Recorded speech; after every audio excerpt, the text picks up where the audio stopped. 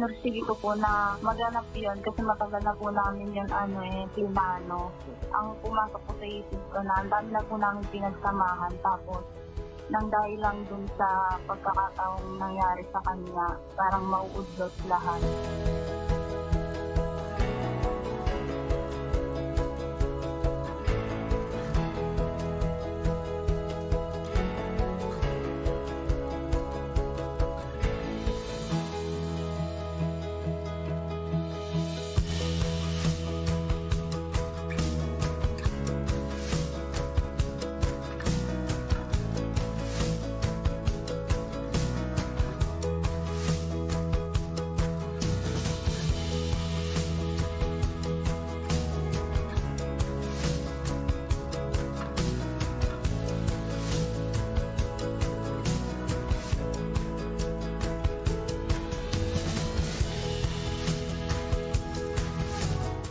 Naman tayong nakikita na kahit papano eh masamang intention doon sa gagawin nila. Eh, yung tao naman, hindi naman siya convicted eh, until, until meron siyang hatol o sentensya.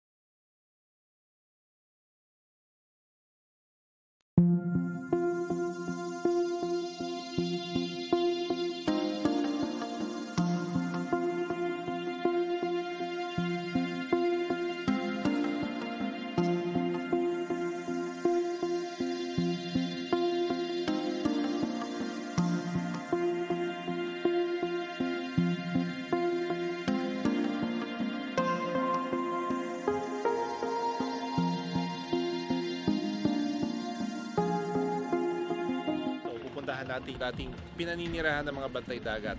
Ngayon, simula nung umalis yung mga bantay dagat doon, iba na raw yung nakatira.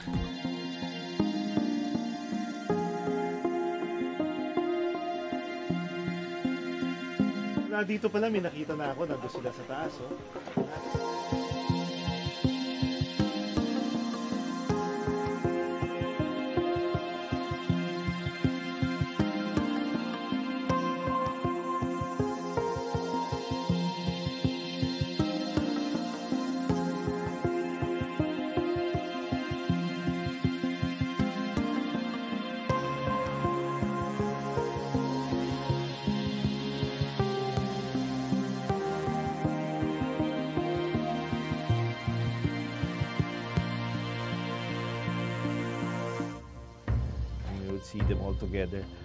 Magkakalingkis, magkakadikit. Sometimes we would see 8 8 or 10 of them na magkakasama, magkakabuhol-buhol. You can even distinguish the head from the tail kasi nga talaga mag makikita mo na yung katawan nila na magkakasama.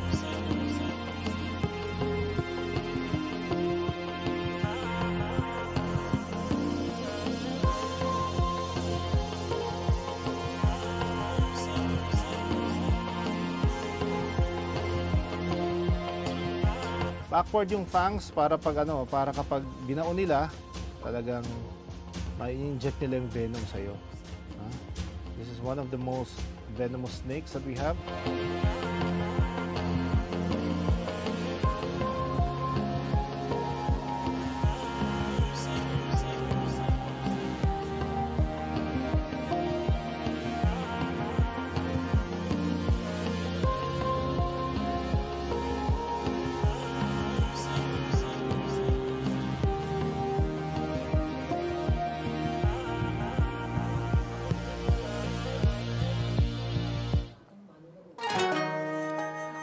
Na isang aso sa Japan ang itinuturing na national hero ng marami dahil sa hindi matatawarang loyalty nito sa kanyang amo? Di lang po tao ang pwedeng magpamalas ng kagitingan. Kung kilala nyo ang asong si Hachiko, eh malamang eh nakapag-Japan na kayo o kaya naman eh nakapanood ng ilang pelikula na ginawa tungkol sa kanya. Matatagpuan ang kanyang rebulto malapit sa Shibuya train station kung saan napakaraming tao ang dumadaan araw-araw. Isang golden brown Akita breed si Hachiko. Alaga ito ni Professor Hidesaburo Hueno ng Tokyo University na nakatira sa Shibuya. Kada pagpasok sa universidad, kasabay ng profesor si Hachiko at inihahatid siya sa istasyon ng tren at hihintayin muli hanggang makauwi. Pero isang araw habang naghihintay si Hachiko, walang among profesor na dumating. Inatake pala ng cerebral hemorrhage si Professor Ueno at namatay habang nasa trabaho. Hindi lang araw, kundi halos sampung taon daw nagpabalik-balik ang asong si Hachiko sa istasyon ng tren para hintayin ang pagbabalik ng kanyang amo. Namatay ang asong si Hachiko noong 1935 sa isang kalye ng Shibuya. Dapat alam mo na milyon-milyon ang bumibisita sa monumento ng itinuturing na bayaning aso ng Japan. Nakadisplay rin sa isang National Museum sa Japan ang isa pang rebulto ni Hachiko kung saan nakakabit ang preserved na balahibo nito. Yan ang dapat alam mo.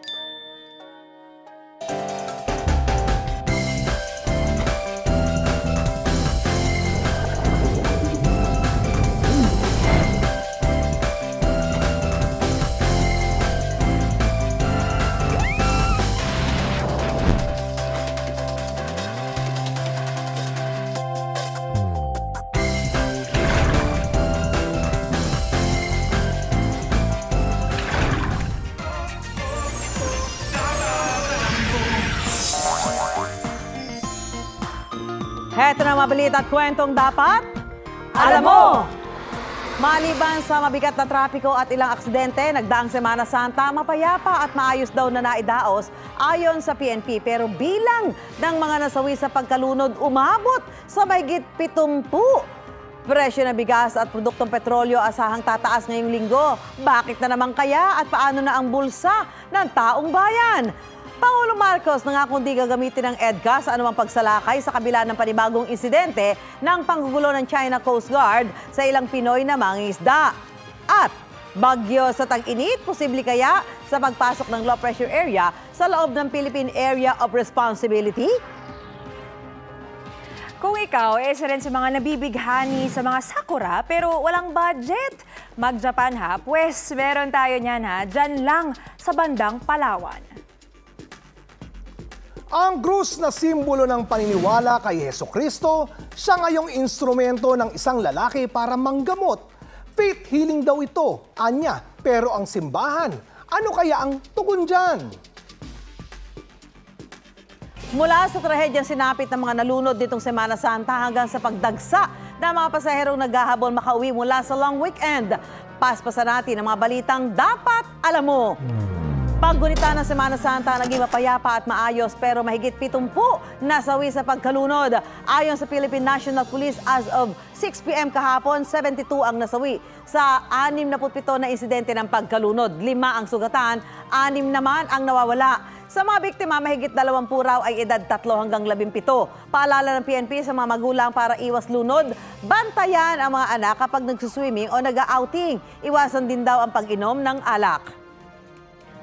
Pagbigat ng daloy ng trapiko sa North Luzon Expressway o NLEX, inaasahan ngayong gabi hanggang bukas ng madaling araw dahil yan sa pagdagsa ng mga motoristang maghahabol makauwi mula sa mahabang bakasyon ayon sa pamunuan ng NLEX. Pinakamataas daw ang volume ng mga sasakyang kagabi hanggang kaninang alauna ng madaling araw. Sa mga sasakay ng bus pabalik ng probinsya, dumarami na rin ang mga pasahero sa Paranaque Integrated Terminal Exchange. Inaasahan ng pamunuan ng PITX na nasa 1.2 milyon na mga pasahero ang bumiyahe gamit ang kanilang mga pasilidad. Wala pang aberya na naitala ang pamunuan ng PITX. Sa NAIA naman umabot na sa 65,000 ang dumating na pasahero ng international at domestic flights kahapon ayon sa Manila International Airport Authority. 53,000 naman ang mga umalis. Inaasahang ganyan din ang magiging daloy ng pasahero ngayong huling araw ng holiday kung kailan mas marami ang inaasahang darating. Sa initial assessment, higit isang milyong pasahero ang dumaan sa NAIA mula April 1 hanggang 9. Sa Northport Passenger Terminal sa Maynila,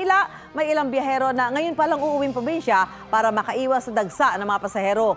Ayon sa Philippine Coast Guard, halos 74,000 na ang kabuoang bilang ng outbound passengers habang halos 50,000 naman ang inbound sa lahat ng port sa bansa. Hanggang Mayo naka-heightened alert ang PCGSA sa lahat ng mga pantalan at istasyon.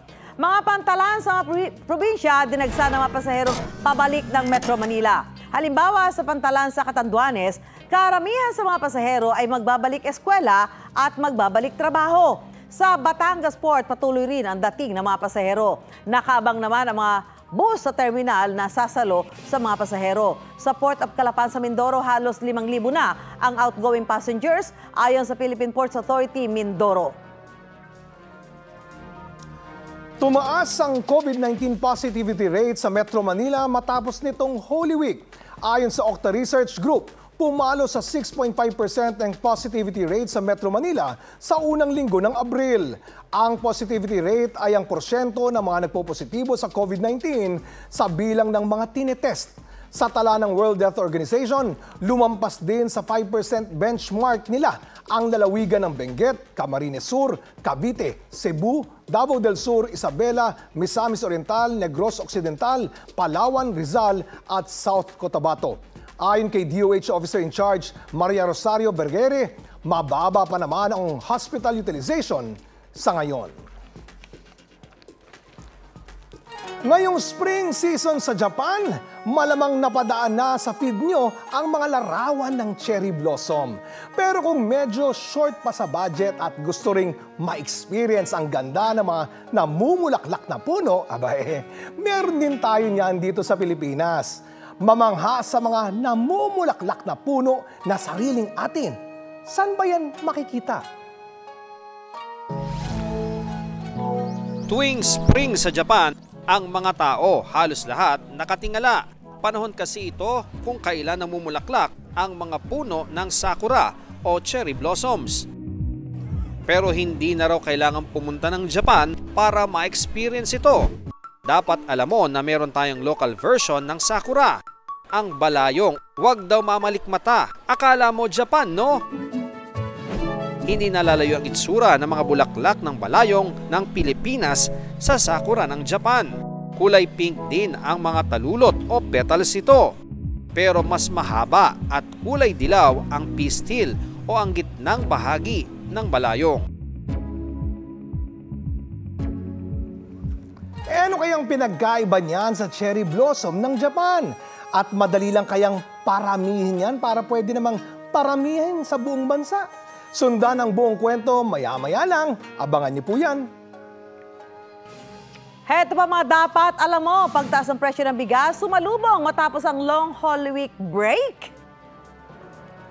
Karagdagang EDCA sites, di raw magagamit sa anumang offensive actions ayon kay Pangulong Marcos. At silipin ang all-white photo shoot para sa birthday ni sparkle artist Sofia Pablo. Marami pa kaming ibabalita kung saan damang-dama ang init dito sa Dapat Alam Mo! Dapat alam mo, dapat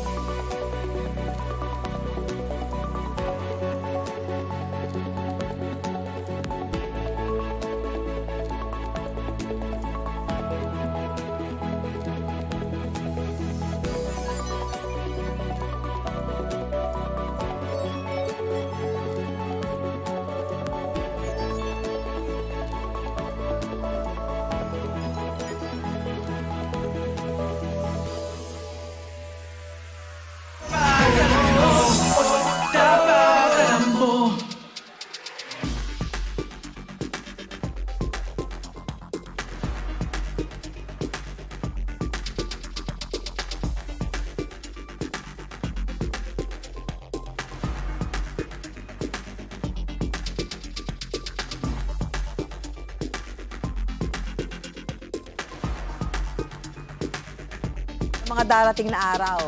Pero bawago natin po yung balitang yan. Tingnan muna natin ang lagay ng traffic. Nakita mo ba yung traffic ngayon? Ako kasi mamaya, iwasan nyo yung NLEX dahil naasahan daw ang pagdagsa ng mga papauwi dito sa Metro Manila. Samantala mga kapuso, asahan na raw po ang pagmahal ng bigas sa ilang pamilihan sa bansa. Ayon po sa Department of Agriculture, 5 pisong taas presyo sa bigas ang inaasahan ngayong linggo. Ilan daw sa mga dahilan na yung mataas na farm gate price ngayong tag-init at ang mababang buffer stock o nakaimbak na bigas. Dapat nasa 3.33 million metric tons ang buffer stock, nasa sapat ng hanggang tatlong buwan.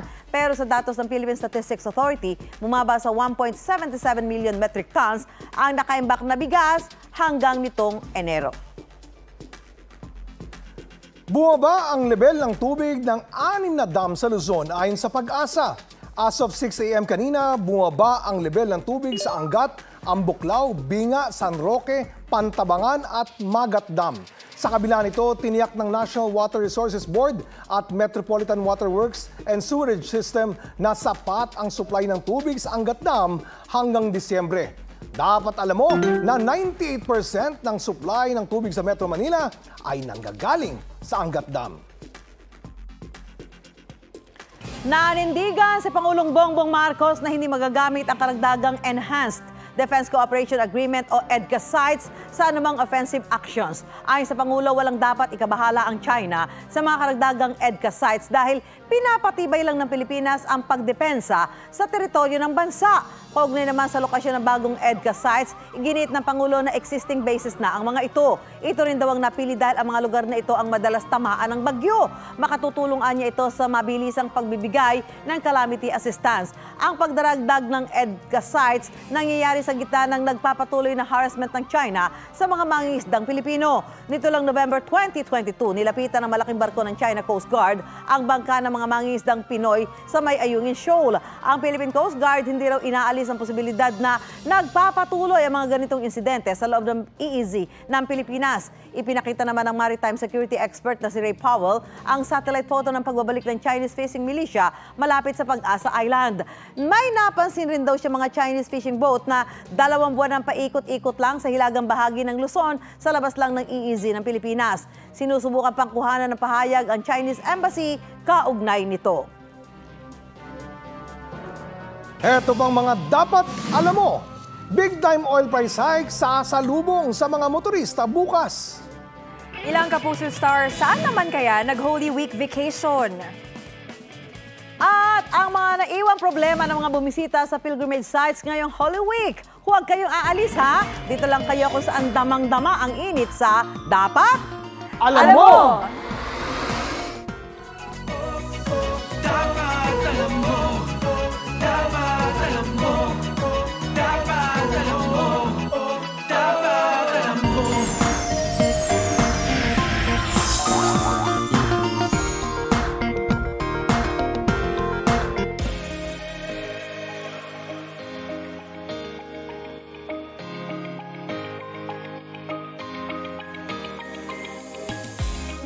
life is incredible. That American dream to have a family and a good job and own a home.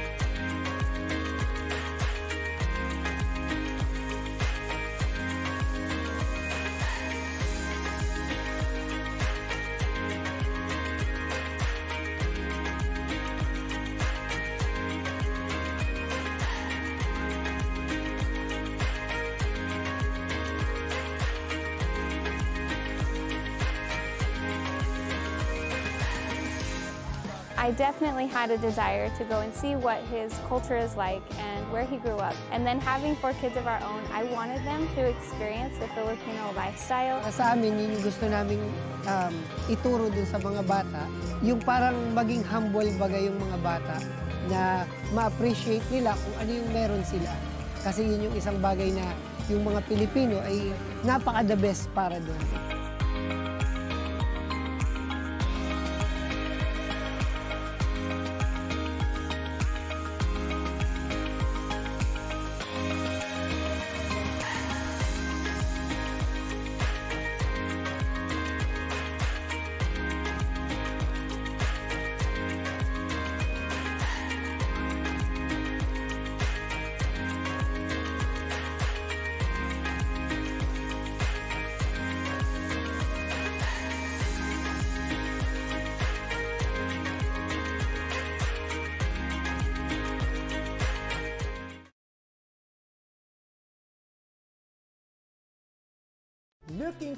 News and latest information? Yung pala almost more than a minute na pala ako hindi humihingi Watch GMA News in Public Affairs, Stanford 2. The digital newscast where you can find the biggest stories of the week. Binabaril kami talaga pag nasalaot kami. So kami, ano ang laban namin doon? Uh, dalawang ranger po namin ay pinagpuputokan po ng baril. In-depth documentaries on issues, special reports, and analysis on local and global affairs. Mukhang hindi naman seryoso si Presidente na terminate yung MBFA. Na, na wala tayong asahan sa Western Pharmaceuticals kasi nabili na yun eh. That matter for every Filipino. Oh. Gusto na lang daw po niyang umuwi na. Doon na lang daw po siya mamatay sa Pilipinas. Oh.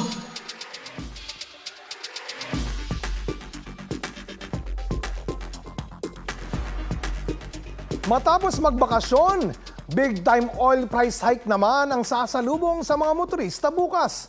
Sa taya ng ilang kumpanya ng langis, 2 pesos and 60 centavos ang magiging taas presyo sa kada litro ng gasolina. 1 peso and 70 centavos naman sa diesel at 1 peso and 90 centavos sa kerosene. Ito na ang ikalawang oil price hike matapos mag-anunsyo ang Organization of the Petroleum Exporting Countries o OPEC Plus at iba pang kaalyado nito ng bawas produksyon ng langis.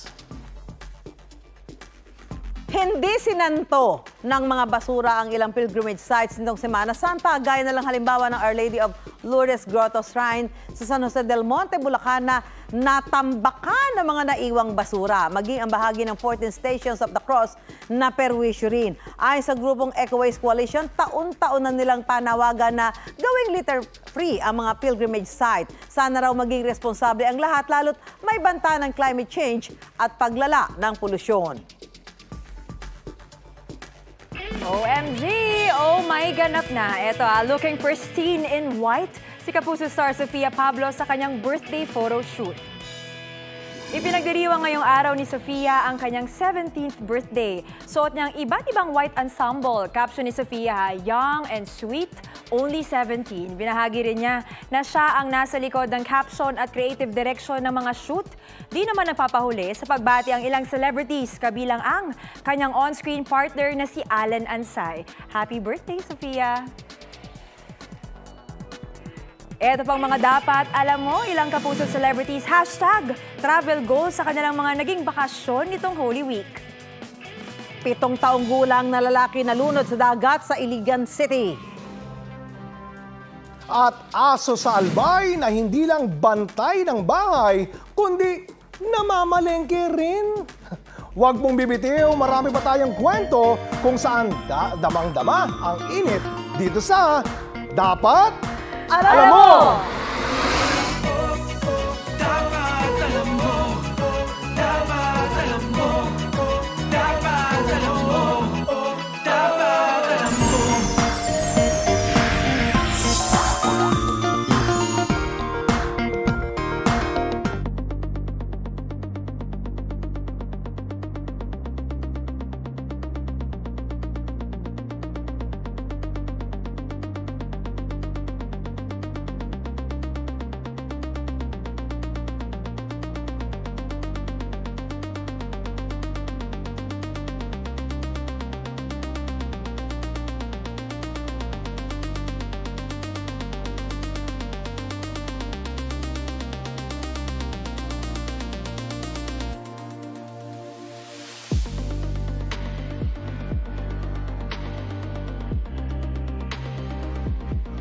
Sabi nung mga taga-bantay dito, may isang araw daw na bumaba halos 50 na bayawak na naandito sa lahat sila sa lugar.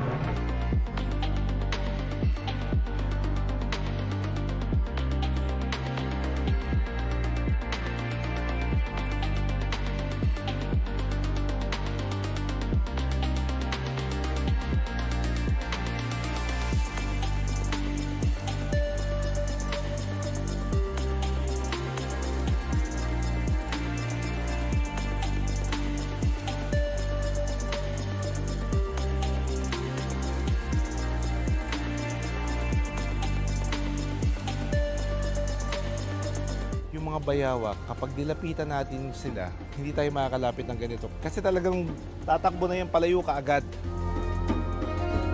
Siguro, over time, na-condition na rin sila na they don't feel threatened here. Nasanay na rin sila.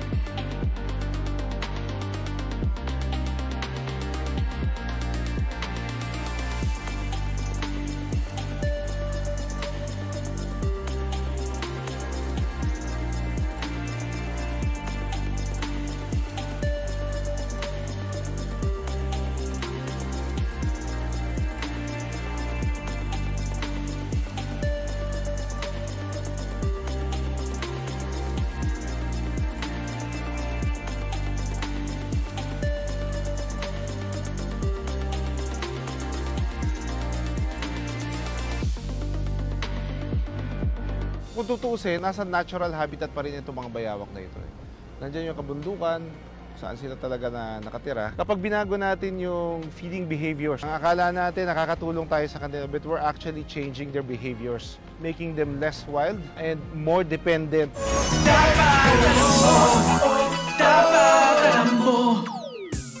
Eh, Susan, alam mo yung mga artist na yan, eh kahit anong ibigay mong canvas dyan, sa sobrang malikain ng kanilang mga isipan, eh makakagawa at makakagawa ng obra yan. Ayan naman, kaoka. Baka yan na yung sign ng future artist nating nakilala. Dahil sa murang edad, Oscar, yung mga dingding ng kanilang bahay, dingding ng bahay, ah, Pati yung dingding, ah. ginawang praktisa, praktisa nila. Nakakabilib Oo. naman. Kaya nga para sa kanilang ama, eh hindi lang basta laruan na ituturing itong sining ng kanilang imahinasyon. Ayan. Yan ang kwentong inalam ni Ian Cruz. alpabeto at stick figures. Yan ang kadalasang iginuguhit ng mga bata. Pero paano kung hindi sa papel o pisara nila ito isinusulat, kundi sa dingding at pinto ng bahay? Walang pasok pero ang magkakapatid na ito naghahanda ng kanilang mga gamit pang eskwela. Kani-kanya silang pwesto sa kanilang bahay. Hawak ang marker isa-isa silang gumuhit sa mga pader. Ang mga pader sa sala at kwarto at maging ang mga pinto nung puno ng mga drawing ng mga bata. Naku po! Alam kaya yan ng mga magulang ninyo?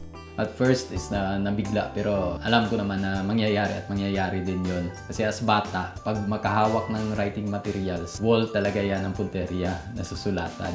Isa raw ito sa paraan ng pagtuturo ni Alfred sa kanyang mga anak. Kuya, ano yan? Mas naiintindihan daw niya ang saloobin ng mga anak sa tulong ng kanilang mga artwork. Sa pagsusulat nila sa wall, na-develop sa kanila is yung writing skills nila. Then yung imagination nila mas nagsha-sharpen. Malaya raw na iguguhit ng mga bata ang anumang maisip nila. Kadalasan na ginuguhit nila sa wall is yung mga lessons din nila, yung mga nakikita nila sa TV, kung anong yung nangyayari sa paligid. Mostly din yung about kay God, about sa family. Nakaalalay pa rin naman daw si Alfred sa iginuguhit ng kanyang mga anak. Minsan kasi may na drawing sila na rest in peace. Na taka ko, ba't, ba't may rest in peace dito? Kung tinanong yung kuya, ba't ka nagsulat ng rest in peace? Ay, yung sagot, bahay lang daw ng zombie. Wala naman daw meaning na iba. Count mo yung virus. Count mo. 1, 2, 3, 4, 5, 6, 7. Wow, 7 seven. virus. Ano bang meaning ng isinulat nila or ano bang pagkaintindi nila sa isinulat nila. May mali silang naintindihan, it is pwede kong i-correct at i-explain sa kanila kung ano ang tama. Saan pa nga ba magmamana ang mga bata kundi sa kanila ring ama? Tattoo artist si Alfred at nagpipinta rin. Plano raw ipreserba ni Alfred ang lahat ng mga drawing sa kanilang bahay. Every time na gigising ako tuwing umaga at nakikita ko ang mga drawings nila, actually hindi talaga ako nadudumihan. Parang nakikita ko ang isang room na puno ng artworks ng mga bata. Kaya naman ang bahaging ito na napuno na ng drawings. Pinapahiran niya ng clear coat paint para hindi mangupas at madumihan. Memories kasi nila yung mga drawing as childhood. Kaya need ko i-preserve para paglaki nila, makikita nila, uy, ganito pala yung drawing ko. Ayon kay Raul Ganya, isang child behavior specialist, normal itong pag-uugali ng mga bata at may magandang dulot sa kanilang paglaki.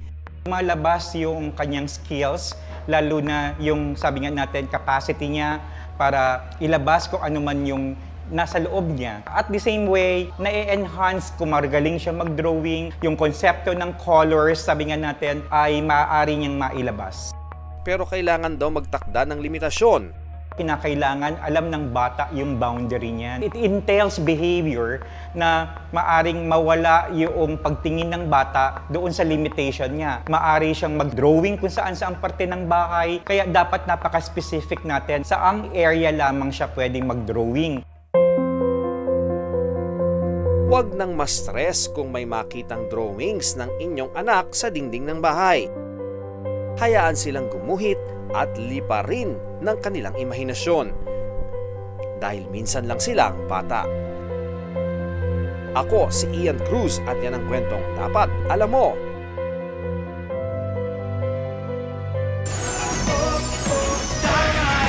Dapat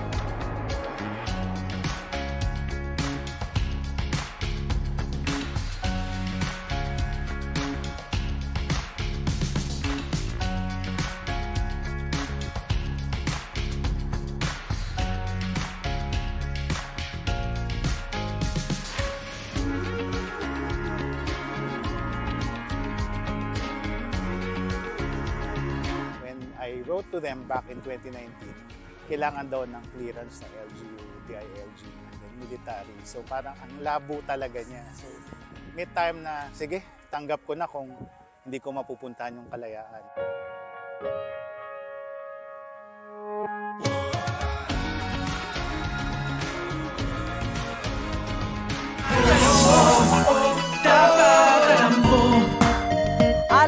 Alas 6.02 na ng gabi, heto na mga inaabangang balita at kwentong dapat. Alam mo! Suspect ng ilang kaso ng pagpatay, patay rin sa pamamaril sa Quezon City. Mga opisyal ng barangay parehong patay sa magkakahiwalay na kaso ng pananambang sa Sarangani at Maguindanao del Norte. Low pressure area sa loob ng Philippine Area of Responsibility, posibleng habang maging bagyo ngayong tag-init at ang nakakabilib na alagang aso sa Albay na tumutulong sa pamamalengke ng kanyang fur parent. Ang cute naman nun, eto naman na, talaga naman nakakabighani ang Sakura ng Japan. Pero para sa mga walang budget dyan ha, meron namang tayong katulad niyan at hulaan nyo kung saan yan.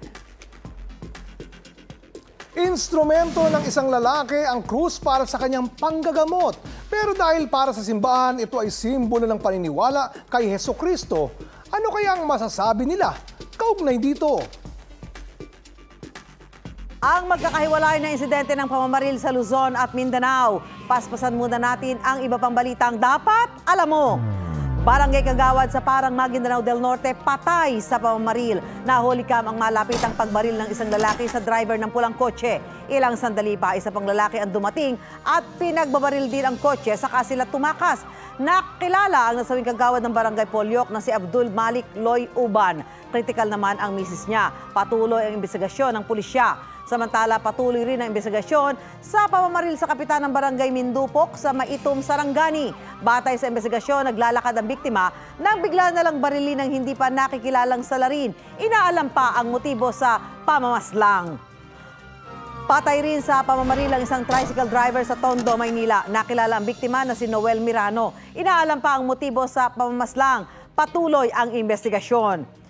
Sa San Nicolas, Ilocos Norte, sugatan sa pamamaril ang isang babaeng negosyante. Batay sa investigasyon, nakasakay ng puting SUV ang 28 anyos na biktima. Nang tabihan ng dalawang lalaking nakasakay rin ng SUV, saka siya pinagbabaril. Nakailag siya sa bala pero natalsikan ng bubog ang kanyang mukha. Sa follow-up operation ng pulisya, natukoy na ang SUV na ginamit ng mga suspect. Inaalam pa ang motibo sa pamamaril. Mga kapuso, isang low-pressure area ang patuloy na binabantayan sa loob ng Philippine Area of Responsibility.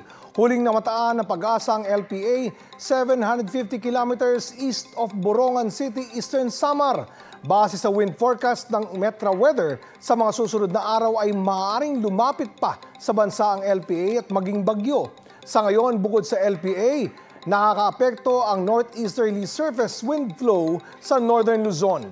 Base sa rainfall forecast ng Metro Weather, uulanin ang malaking bahagi ng Eastern Visayas. Mababa naman ang tsansa ng ulan sa Metro Manila. Nasulit ba ang very long weekend? Ang ilan relax lang sa bahay pero yung iba nakapag-quick getaway. Pero dahil work, work, work na ulit, aba, baka masulit din ang inyong oras sa pagbiyahe pabalik. Kumustahin natin ang lagay ng biyahe at sitwasyon sa mga terminal sa kwentong kalye ni JM Encinas. JM? Oscar, extended man ang holiday ngayong araw, no? Ay nagsimula na nga mag-uwian yung mga kapuso natin ang galing sa kani-kanilang mga bakasyon. Dito sa PITX Bus Terminal, ang mga provincial buses ay ah, nandito na para sumundo sa mga kapuso nating babiyahe ngayong araw.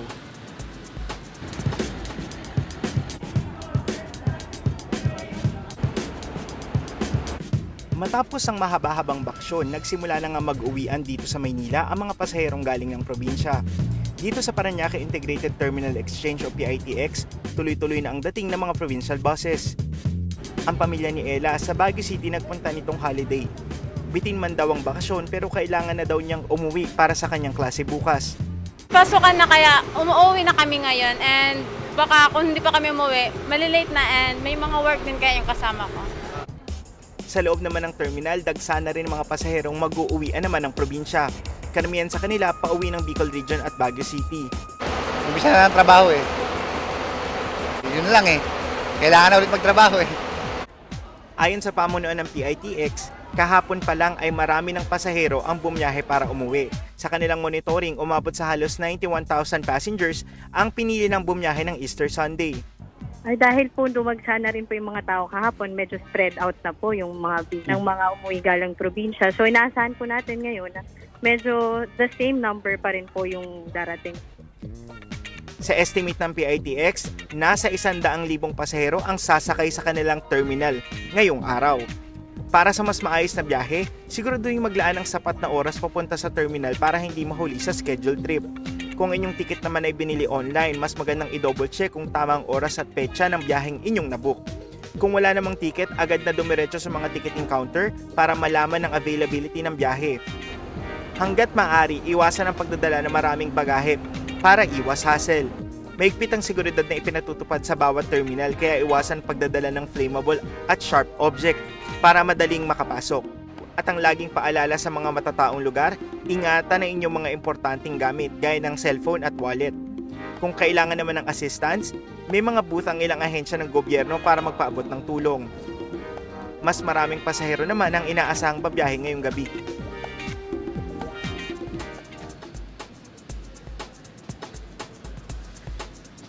Live mula dito sa PITX, ako si JM Encinas at yan ang kwentong kalyeng dapat alam mo, Oscar. Okay, maraming salamat, JM Encinas.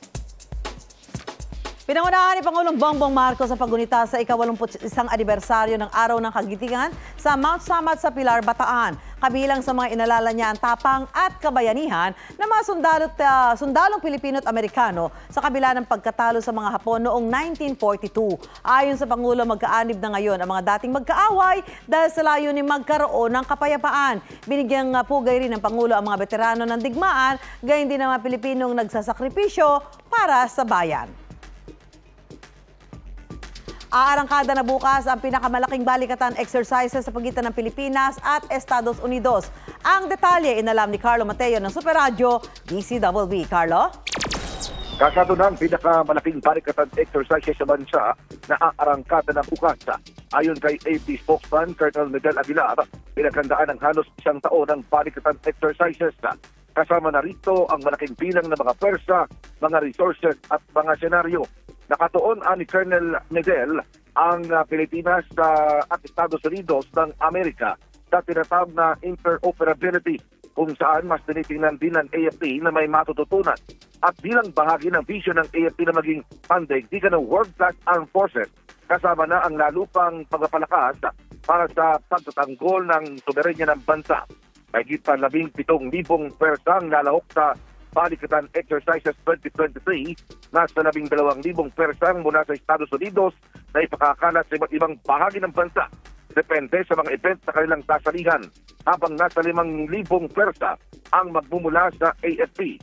Mayroon din isang daan at labing isa na magmumula sa Australian Defense Force at may tatayo rin ng mga observers na magmumula sa ibang mga bansa. Para sa GMA Integrated News, ako si Carlo Mateo ng Super Radio DCWB.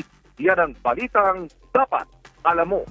Maraming salamat, Carlo Mateo ng Super Radio DCWB. Magkaiwalay na trahedya naman ang nangyari sa France nitong weekend. Apat ang patay sa isang avalanche sa timog kanlurang bahagi ng Mont Blanc sa French Alps. Siyam ang sugatan. Patuloy na inaalam ng uh, pagkakilanlan ng mga biktima na nagbabackcountry skiing nang mangyari ang avalanche. Ayon sa mga otoridad, umabot ng isang kilometro ang avalanche sa inaalam pa ang sani. Nagpaabot na ng pakikiramay si French President Emmanuel Macron. Sa bayan ng Marseille, walo o Walo ang pininiwalaang natrap sa dalawang gumuhong gusali bunsod ng isang pagsabog. Ayon sa mga opisyal, hindi sumasagot sa mga tawag ang walong tao. Pahirapan ang pag-rescue matapos madamay sa sunog ang isa pang gusali. Inaalam pa ang sanhi ng pagsabog. Sa basaan, idinaan ng mga taga-Lukban, Quezon ang linggo ng pagkabuhay o Easter Sunday.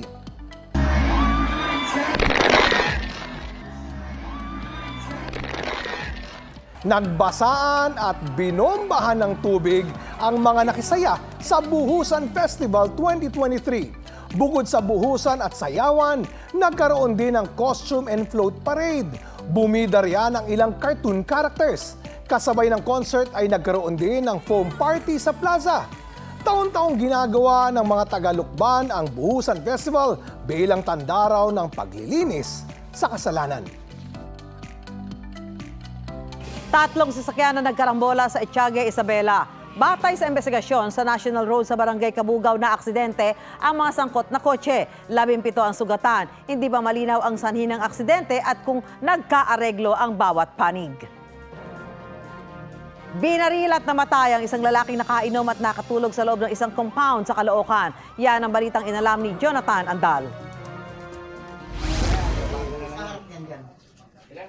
Katatapos lang mag-inom ng lalaking ito nang barilin siya sa muka sa loob ng isang compound sa barangay 176 North Caloocan. Siya si Edgardo Mondalia, 47 years old, motorcycle taxi rider. Sabi ng kanyang mga nakainuman, iniwan daw nila itong mag-isang tulog sa upuan sa labas nang magsipasukan sila sa bahay. Wala pa pong 5 minutes, may pumutok na po. Nagulat po ako. Sabi ko, hala si Kuya Isay, narinig na pamangkin ko na may bumukas sa gate tapos may na ano din siya na tumakbo. Isang alias Utoy, 21 anyos, na nakatira rin sa loob ng compound, ang nakita umanong papatakas sa crime scene. Sabi ng stepson ng biktima, wala silang maisip na dahilan kung bakit siya binaril. Wala po talaga siyang kaaway. Kahit saan po, tahimik lang po siyang tao. Lumalabas sa investigasyon ng Caloocan Police na isa raw ang biktima sa nanggugulo umano sa loob ng compound para mapaalis ang sospek na si Utoy na nangungupahan sa isa sa mga bahay roon.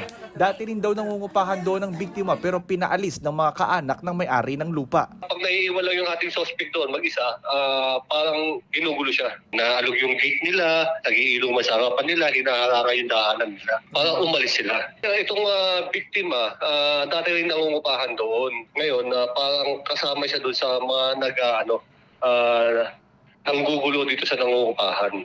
Nagtatago ngayon si alias Utoy na pinasusuko na ng kanyang mga kaanak. Hindi na recover ang ginamit sa pamamaril pero hinala ng pulisya isa itong improvised gun o sumpak. Para sa GMA Integrated News, Jonathan Andala. Yan ang balitang dapat alam mo. Samantala, nag-tour sa Intramuros sa Maynila ang Chinese boy band na Wavy. Sa kanilang vlog, ah, sinabi nilang ang Intramuros ang isa sa inirekomenda sa kanila ng Filipino Way Zenis na bibisitahin habang nasa Pilipinas. Guided historical tour kung saan natuto sila tungkol sa kasaysayan ng Pilipinas. Tinikman din nila ha, ang Wavy members ang iba't ibang Pinoy dishes gaya ng crispy pata, adobo at sinigang. To beat the hita, sinubukan din nila ang halo-halo at fruit shakes. Ito naman, big heartbreak para sa Swifties. Ang mga ulat na hiwalay na umano sina singer-songwriter Taylor Swift at British actor na si Joe Alwyn. Hot topic online ang exclusive report ng Entertainment Tonight na nag-ulat ng hiwalayan. Maayos ang at hindi raw dramatic ang breakup ng dalawa ha. Ang breakup din daw ang dahilan kaya hindi nakikita si Joe sa mga show ni Taylor sa kanyang The Eras Tour. Hindi pa nagsasalita sina Taylor at Joe na 2016 nang umpisahan mag-date at 2017 naman nang magkumpirma ng relationship. Eto ah, kapag sinabing volleyball, syempre I'm sure na naglalakas ang spike at galing oh, ng mga kabaihan ang agad may isip. Pero hindi na naman pauhuli ang boys dyan dahil may binatbat din daw sila sa paghataw ng volleyball at di lamang sila basta magagaling ha, mga heartthrob pa sa court. Aba, yan ang kwento inalam ni Aubrey Carampel. Sa larong volleyball, mga kababaihan ang madalas na iniidolo.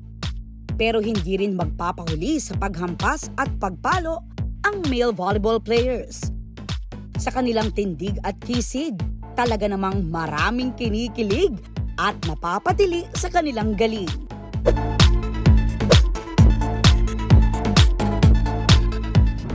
Huwag daw magpapalinlang sa kanyang malaopa na datingan. Dahil kapag bumira na siya sa court, halimaw ang kanyang galawan. Meet the middle blocker, Anjo Perquera. Bata pa lang, sari-saring sports na ang kinagigiligan ni Anjo. Originally, basketball varsity ako first two years ko nung high school. Tapos na-invite lang ako mag cross-training sa volleyball. After nung isang training na yon, naengganyo na ako. Tuloy-tuloy na. Kolehiyo nang makasama si Anjo sa volleyball team ng Mapua University. Dito niya nakamit ang best middle blocker para sa season 19 ng NCAA. Sobrang hirap mong pinagdadaanan ng isang student athlete. Yung struggles, yung puyat, y- syempre yung priorities. Eh. Doon din ako na-hone as a professional kasi nga minsan lang mabigyan ng opportunity na maging scholar, maging student athlete. Sa pagsaling ni Anjo sa college volleyball team, ito raw ang nagbukas ng oportunidad para makapasok siya sa Professional Volleyball League. Iba rin yung joy na dala ng professional league kasi nga mas maraming nakakita sa'yo, mas maraming nakakilala, maraming nakakita ng talent mo. Si Anjo, hindi na lang sa mismong court nagpapasiklab. Pinasok na rin niya ang sports casting Nakita ko po. at acting. Lumalabas na rin siya sa iba't ibang kapuso shows. Ngayon kasi medyo go with the flow ako eh. So yun nga, nag-sports casting ako, acting at the same time, and playing professionally. Pero ngayon gusto ko talaga maging isang sports segment host. Certified head turner naman ang modelo at dating volleyball player na si Joshua De Siquera. Gaya ni Anjo, basketball din ang unang sport na kinahumalingan ni Joshua. I was part of the basketball team for uh, De La Salle College of St. Benilde. Then, after a two-year stint, yung coaches namin nag-iba. Almost 70% of the original team that was there nung dating coach, tanggal na. Kasama na rin ako doon. I asked Coach Arnold Lanyog if I could try out for the volleyball team. It took a while for me to learn how to play volleyball kasi I've never played the sport ever in my entire life. That was the only time I played it. Matapos makapaglaro ng higit tatlong taon para sa DLSU College of St. Benilde, nahinto ang volleyball career ni Joshua nang magpandemya. I went into online selling, to uh, real estate. I tried everything just ano lang, just to pay the bills. Pero dahil tila likas kay Joshua ang pagiging artistahin, pinasok ni Joshua ang male pageantry. Sunod sa yapak ng kanyang mommy, ang beauty queen turned actress na si Marina Benepayo. Automatically, I said yes kasi that's an opportunity that I'll never get ever again in my life. Had three and a half months to prepare. Got first runner-up, so got a few other awards too as uh, best commercial model. Pinili din nila ako para yung i-represent yung brand nila. Mula sa pagkahilig sa sports, National Director na si Joshua ngayon para sa Mr. Philippines at proud father na rin. Sa sports, sa modeling, sa pag-artista, you always have to do, you always have to have a mentality na you're always one step ahead of everyone. Aminado si Anjo at Joshua, mayroon umanong stigma sa mga gaya nilang lalaking volleyball player. Lalo pat halos female-dominated ang sport na ito. Sad kasi yun nga, totoo, may stigma nga tayo na pag basketball, pang lalaki, volleyball pang babae. Ngayon kasi dapat open-minded na yung mga tao eh. Hindi lahat kailangan may gender para sa specific na laro or sa specific na task or trabaho kung ano man yan. 2023 na guys, gising na tayo. Kaya nag-volleyball yan, sayang tangkad niya. Lampas siguro yan. Hindi marunong mag-basketball siguro yan. Not all tall guys who play volleyball uh, failed in basketball. Some of them actually love the sport nung simula pa lang. Dagdag pa nila ang sport, wala naman talagang pinipiling kasarian. Sana maiba na yung ah, pag-iisip ng karamihan kasi nga ah, ito yung passion namin. Ginagawa namin to kasi gusto namin. Men's volleyball has a lot to offer. Ano lang talaga, um, just give us a chance. Ang mga certified volley base na sina Anjo at Joshua, laging game face on. Mapa-volleyball man o sa mga bagong ganap na kanilang kinakarir. Ako si Aubrey Carampel at yan ang kwentong dapat alam mo. O ito Susan, ha? baka napadpad ka na dito sa ating susunod na kwento dahil dyan daw sa Cavite, eh may isang lalaki na dinadayo dahil sa iba't ibang ah, karamdaman. Ay, oo nga, Oscar sabi, hindi siya doktor. Pero nakapagpapagaling daw ng mga sakit gamit ang krus. Kahit tapos na po ang Semana Santa, tuloy daw ang manggagamot sa paggawa ng himala. Yan ang kwentong inalam ni Sandra Aguinaldo.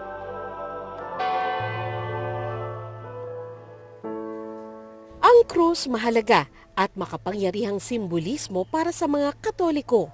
Pero may nakilala ang dapat alam mo na higit pa sa simpleng pagdarasal ang gamit sa krus.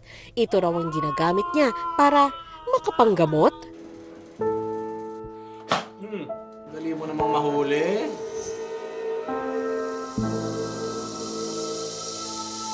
Mainit at tirik man ang araw, hindi ito iniinda ng mga taong nagaantay sa labas ng bahay na ito sa Cavite. Dito kasi nang gagamot ang 47 anyos na si Harold o mas kilala na Dalubhasa. Isa sa matiyagang pumila ang 46 anyos na si Sherwin. Nahirapan ako lumakad eh. Kasi may tungtong na ayos. Napakasakit. Hirap. Tapos hindi ako makakatulog ng diretso. Pagising-gising ako sa gabi. Doon sa isang unang doktor na pumunta ko, dialysis dapat ako. Tapos hindi ako pumayag, nagpa-second opinion ako. Doon sa kabilang hospital naman, normal naman lahat ang ang tingin sa akin. Dahil sa hindi maipaliwanag na sakit, lumapit na siya kay Harold. Katulong ni Harold ang kanyang kapatid sa gagawing panggagamot. Una munang nilagyan ng asul na piring ang mga mata ni Sherwin. Binulungan ng kapatid ni Harold ang isa sa mga krus. Tsaka ito unti-unting itinusok at idiniin sa daliri ni Sherwin. Habang idinidiin ang krus, makikitang tila namimilipit sa sakit si Sherwin.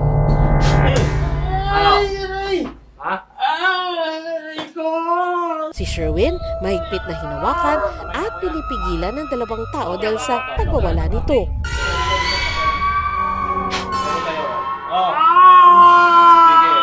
Ano? Ano? Ha? Matapos ang ilang minuto, natapos ang panggagamot. Si Sherwin, hapong-hapo. Kapansin-pansin na na igagalaw na ni Sherwin nang maayos ang kanyang mga binti. Okay naman. Oh, Bumaka, hindi katulad kanina, parang ang lolo mo. Paupo ako dyan, parang nanlalata na ako na hindi ko maintindihan. Eh. Nung mga edad-edad ko ng mga 12 years old, nakakapanaginip na ako ng maliwanag siya, may pakpak. Sabi nila, anghel daw, pero malaking tao. May calling ako manggamot sa mura akong edad. Iba't ibang kahoy na mahiwaga na makakatulong sa mga taong nangangailangan. 17 anyo si Harold nung unang ginamit sa kamag-anak na may high blood ang pinagawang krus. Gumaling umano ito at mula noon, sunod-sunod na ang lumalapit kay Harold para isang guni ang kanilang karamdaman. Ang mga cases na kaya kong pagalingin, lahat po ng sakit. Spiritual mo na, yung nakulam na barang, na engkanto, kung ano-ano pa. Then, sa mga natural na sakit, hindi rin basta-basta na lulunasan ng siyensya. So, natutulungan ko rin po sila. Ah, yung iba medyo talagang malala na, Nasa pitong krus na may iba't ibang disenyo ang ginagamit ni Harold para sa kanyang panggagamot. Iba-iba raw ang gamit nito, depende sa karamdaman ng pasyente. Ito yung ah, kahoy na tinatawag na alitagtag sa simbahan to ng Batangas. Mahiwagang kahoy ito na nagmimilagro. Itong cross na to, gagamitin to sa pagpapahawak mo sa may sakit. Diyan sa mananalangin, Ang ilang napagaling umano ni Harold, buo ang paniniwala sa kanyang kakayahan. parang wala sa sarili. Ganun. Tapos nagpagamot ako kay kuya. Ganun. Tapos nung pag-uwi ko ng ilang araw na, magaling na po ako. Sobrang manas po ng mukha ko. Ang dami kong parang nagkaroon ng galis-galis o skin rashes. Ganun po. Tapos dahil kay sir, okay na po.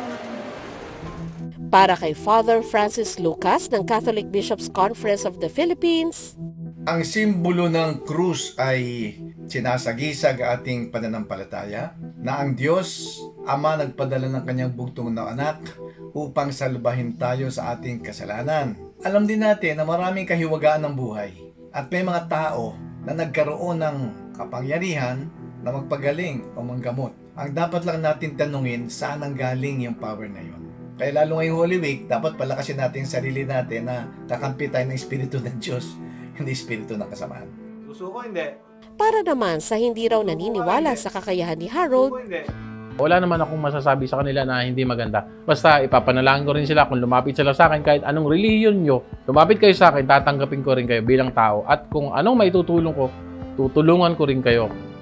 puno ng hiwaga at hindi maipaliwanag na mga pangyayari ang ating buhay. Pero sa tulong ng matibay na pananampalataya, bukas sa pag-iisip at pag-iintindi, maaring magkaroon ng kasagutan ang ating mga katanungan. Ako si Sandra Aguinaldo at yan ang kwentong dapat alam mo. Ay, nako, dream niyo bang masulyapan at makapag-selfie sa mga cherry blossom ng Japan? Oh, kung wala pang budget pang out of the country, eh pwede pa rin namang i-achieve ang flowery photo kahit dito lang sa atin muna. Let's G sa Palawan dahil in, bloom, in full bloom na ang mga mamumulaklak na puno roon. Yan ang kwentong inalam ni Ian Cruz. Tuwing spring sa Japan, ang mga tao halos lahat nakatingala. Panahon kasi ito kung kailan namumulaklak ang mga puno ng sakura o cherry blossoms. Pero hindi na raw kailangan pumunta ng Japan para ma-experience ito. Sa Palawan, tila umuulan daw ng mala cherry blossoms mula sa puno ng balayong. Ang Pinay vlogger na si Janela inaabangan ang taunang Sakura Festival sa Tokyo, Japan.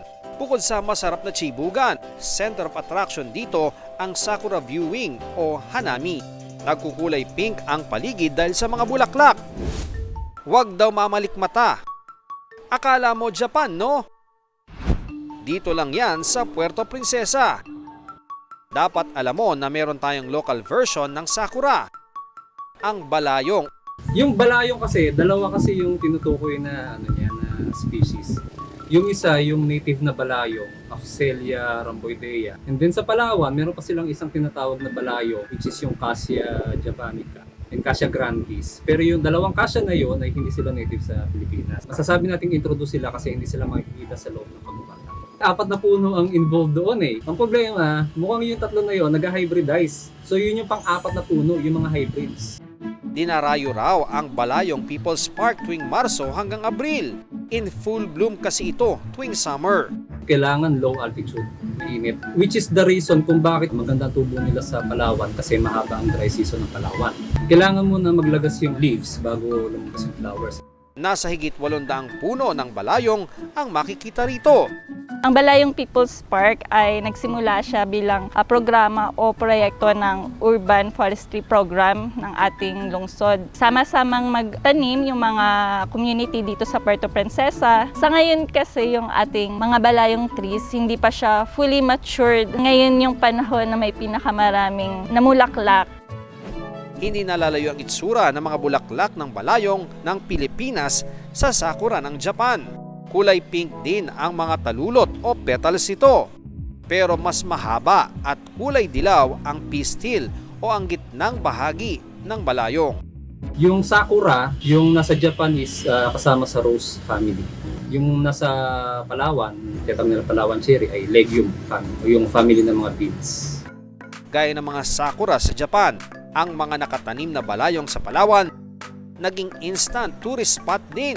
Thousands of balayong trees tinanim natin dyan kasi ang pinaka-objective niya ay itong balayong pag namulaklak, magiging concentration ng turista sa Luzon, Puerto Princesa, lalo na yung mga magpapakasal. No? Gusto niya maging wedding destinations not only for the Philippines but international. Pagdating naman sa kalikasan, malaking may tutulong nito kasi 73% of land ng Puerto Princesa covered by trees. Ang balayong sa pagtatanim natin, malaking may tutulong niya makapture yung carbon dioxide.